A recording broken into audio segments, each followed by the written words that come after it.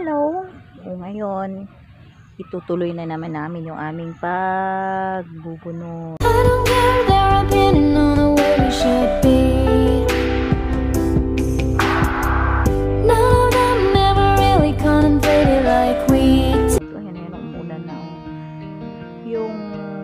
Batya na may tubig, yan yung pag banlawan. Pag nabunot na siya, isas, i, ano siya, hugasan siya dun sa batya para matanggal yung mga lupa. Saka siya talian. Tapos, dali na naman doon malapit sa bahay para itanim dun sa talayan na may tubig na talaga. Meron pa isa doon. Dalawa. Tapos yung naiwan namin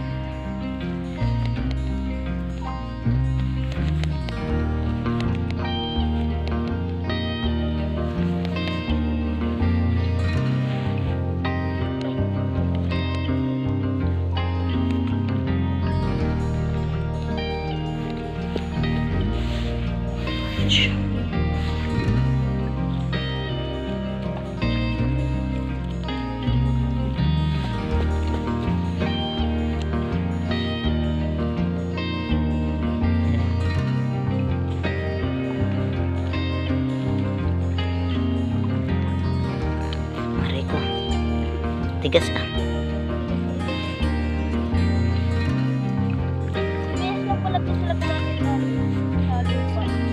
Mm. Yung tinanim siguro namin, tumapit na lang.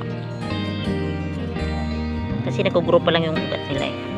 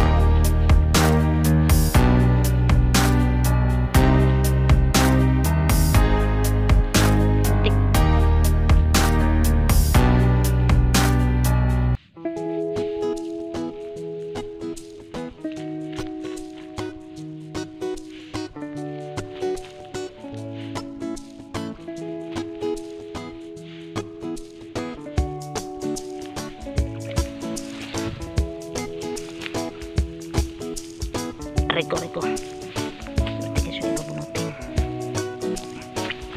Tanggal, tanggalin mo kuya.